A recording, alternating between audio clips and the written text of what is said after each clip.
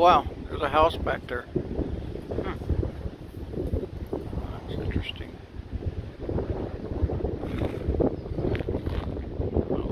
houses in the Dells.